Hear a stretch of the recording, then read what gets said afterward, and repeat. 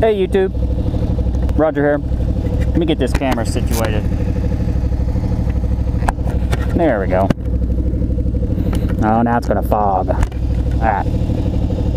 Still a rookie at this moto vlogging. But uh, I had a few things to say, so pull the camera out. Till I get going a little bit, it's gonna be foggy, but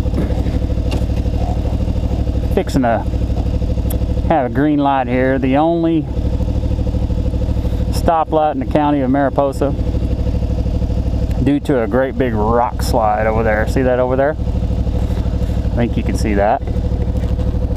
Great big rock slide.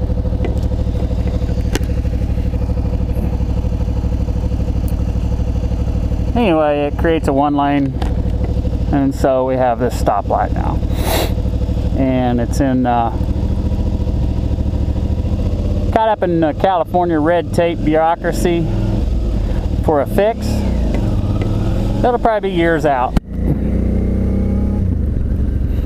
Let me open my vents here on the helmet so don't fog. That's better. I'll try not to sniffle too much. But anyway, riding home, it's heck, what is today? November 26th. Monday. Just got done teaching, uh, well, partially teaching a course for my job called Operational Leadership. Anyway, there's the rock slide. Look at that. They say there's, I don't know, 600 or 6 million cubic yards of material that's constantly sliding inches a day, inches a week, I don't remember, but it's moving. And so that's the highway over there. And since it's moving, they've got to do one or one of two things: go over the rock slide to reestablish the highway on that side of the river, um, or they talk about a uh, rock shed, kind of like a tunnel with a shed over the top of it. But I just don't know how that's going to fly. The mountain's still moving, that makes me a little nervous driving through there, particularly on my motorcycle. So that's the story of the only um, stoplight in my county.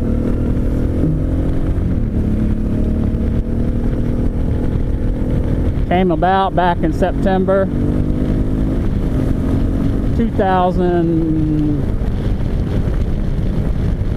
2006, I guess.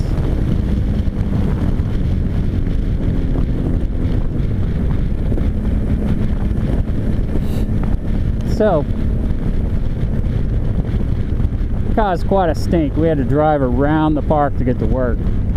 So my my typical 30 minute commute, 35, 40 minute commute every day turned into an, uh, an hour and a half, sorry, two and a half hour commute. Talk about horrible. Yeah, it was bad. So we uh, carpooled a lot and we drove around. Kind of a bad deal. You need to scoot over, buddy. Um, but anyway, now we get to go through that light. It's a little detour. Not bad at all. I could put up with it. It's create a little bit of a hazard though because traffic doesn't free flow down the highway now. It all stops back there at the light piles up and then you get what I got right now. Cars on my butt slowpoke in front of me a lot of anxious uh, commuters that work around here. Take some pretty horrendous risks and I usually don't like to be in the middle of it I try to stay at the back or the front this guy if he's got half a brain will pull over in the turnout right here it's a state law. If you have more than five people on your tail, you got to use a turnout. But obviously, he's a bonehead, going to create a hazard, like causing all us to have to pass him. And of course, it always happens. They speed up like a son of a gun on the straightaways. phone head.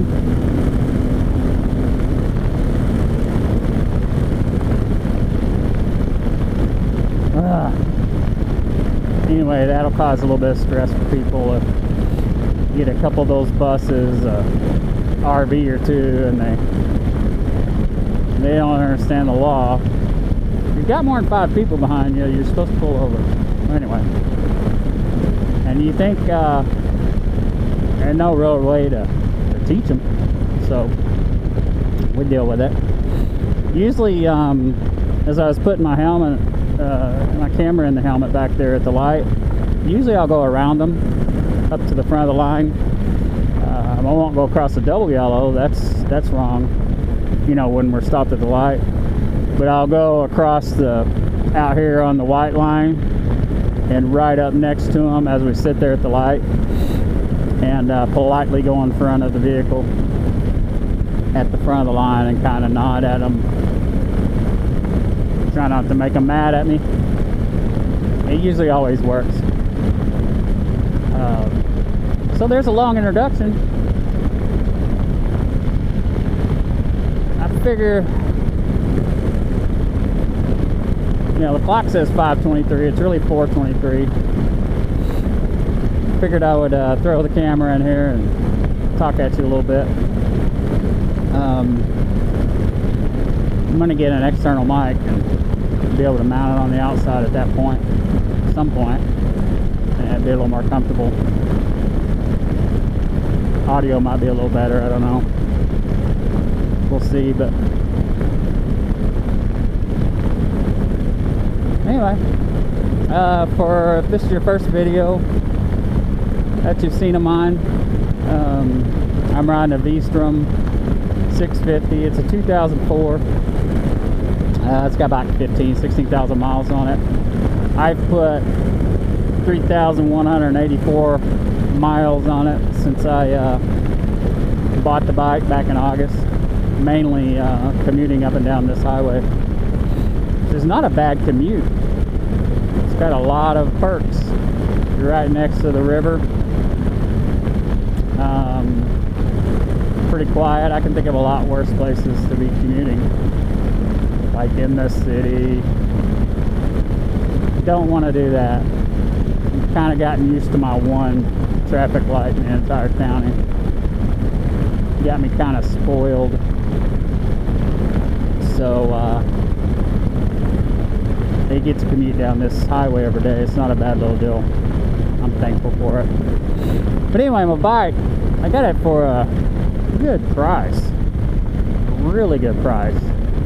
Um, 3,800 bucks with uh, a ton of gear with it. And so uh, I'll get a return on my investment just by riding it to work and back fairly quickly you know two years two and a half years um, and the gas will save from driving the full size pickup got a Tundra 2011 I love that truck but um, she does drink a bit of gas so this was my wife and I's solution to it her idea which blew me away um, but as you can see, I got to take a little bit easy. It's uh, what, November 26th. It's a little chilly out. A little chilly this evening. Um, very chilly this morning. I'm gonna have to break out the full winter suit. I guess it was 37 at my house. And so with the highway, this highway comes a few wet spots and those wet spots easily turn into black ice if we're not careful so now would I see any black ice tonight? No. But uh, still a little timid around the around the wet pavement here. So I take it pretty easy. Anyway that's a little bit about uh, my motorcycle. I like it a lot. And I've kind of taken a liking to this vlogging hobby I've got This is my fourth or fifth. And uh, I promise to get better. So check back. Talk about some interesting topics. I did just read a really cool book that uh, I have to recommend. And the nice thing about the book, it's very good. And there's 10 books in the series. So uh, I gotta give a shout out to the 299 Days by heck, what's the author's name now? It's kind of skipped me his name, but uh, I might put a link in at the bottom underneath the video. But uh, I'm on book two. Finished, just finished it today, um, and uh, fixing to order book three and four. They're uh, available for order, and then five and six is not even out on the shelves yet. So anticipating those uh, being published. If they're not already published, it may be just the way they're releasing them is slowly but surely. But uh, very good book. It's about uh, kind of a partial collapse of America due to a couple of factors: stock market crashing, um, bond markets tanking, uh, debt beyond belief, and a crisis in Mexico where the cartels there basically rise up and take over the government, Mexican government, and that creates a flood of refugees into the U.S. So Texas, California, and uh, Arizona are inundated with refugees from Mexico. Um, and then the uh, plot or the storyline is it's fiction, but the storyline is in uh, Washington State, Olympia, and uh, so you get kind of an intimate look at inside the government there in Washington State and what's going on. And so I recommend it. If you're a uh, got any uh, inklings in your bones that uh, we can't sustain the type of spending we're having in this country, the deficits we're running, uh, living on borrowed dollar, actually spending way more than we, you know, way more than we, we, we take in, and essentially putting our kids and grandkids in an extremely unsustainable spot where yeah, I really don't know what'll happen. It's probably not good though. Gonna be some kind of reset or something that has to happen for uh, normal life to return once uh, the bill comes due for all this debt we're creating. So uh, anyway, this is a, a, that 299 days is a fictional account of that. It's pretty cool. I'd recommend uh, taking a peek at it. I liked it, enjoyed it. That's what I did uh, this weekend. It's been Thanksgiving weekend. Me and the kids did a little bit of uh, shooting, and the wife even enjoyed it a little bit. Uh, we had good dinner, good traditional Thanksgiving dinner with ham. No turkey though, which I guess that may not be traditional. You don't have turkey for some people. Uh, we're not a great big turkey family. We like the ham, but uh, had a good weekend. Had one or two kids under the weather each day. So that made it a little bit rough. We didn't get to do some of the stuff we wanted. We are gonna go uh, ice skating in Yosemite Valley which is something we try to do every Thanksgiving and just didn't quite pan out. So we'll do it uh, for Christmas now which would be cool.